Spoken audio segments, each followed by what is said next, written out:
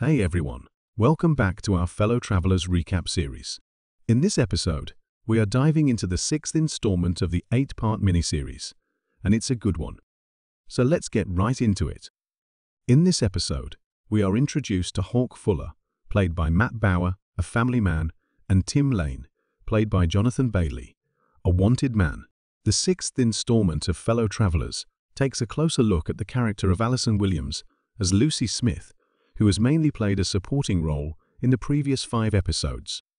We see Hawk living a conventional and constrictive lifestyle with his wife Lucy and their two kids, Jackson and Kimberly.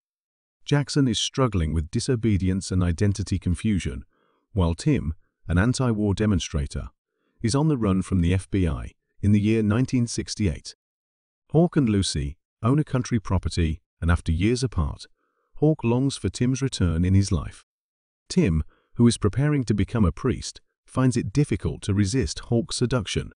The shocking event that punctuates the 1950s timeline and advances the plot is the passing of Hawk's dependable boss, Senator Smith. This episode slows down the action and exchanges the ferocity of